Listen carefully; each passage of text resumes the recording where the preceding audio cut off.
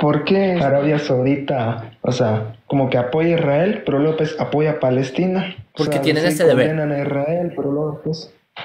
Porque ellos tienen el deber, mira, Arabia Saudita es el país emblema del Islam sunita.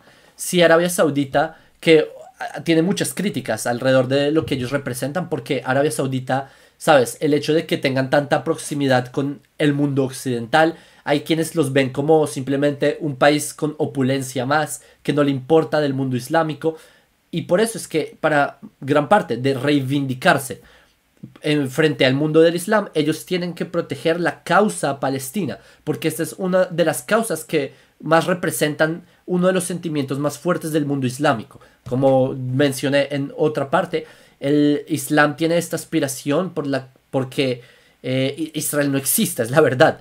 entonces, el, el, Islam en la mayoría de sus facciones, no en todas, hay facciones sionistas del Islam, pero en muchas de sus facciones. Y uno de los argumentos de esta narrativa es la existencia de la libertad de los palestinos. Y por eso es que Arabia Saudita, puertas afuera, deben mostrar su apoyo por esta causa. Puertas afuera. Arabia Saudita realmente es un país que, puertas adentro, es decir, entre... En, mira, en árabe dicen mushmina. Mushmina son los que no son de los nuestros. Los palestinos en general son mushmina, no son de los nuestros. Ellos no los consideran como del nivel de los, ¿sabes? De, la, de los sauditas. De hecho, en el mundo árabe ven a los palestinos como gente de, digamos, una, eh, ¿cómo decirlo? De un estrato distinto, para no decir menor.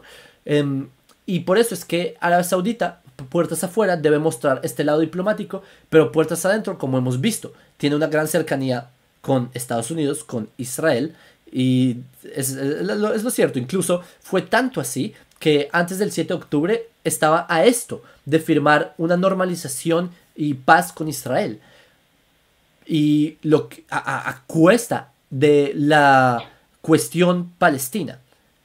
Entonces, por eso es que tú ves como en verdad detrás del telón ocurren cosas que nosotros vemos como ocurre en la práctica, pero que Arabia Saudita no lo dice puertas afuera. Es algo que a nivel geopolítico siempre se han movido así. También los países del Golfo se han movido así en general. No son de los que alardean, alardean puertas afuera y hacen otras cosas como Irán. Irán es de los que alardea puertas afuera y tiene una política exterior tal cual y, y puertas adentro. No tienen por eso mucho que ocultar.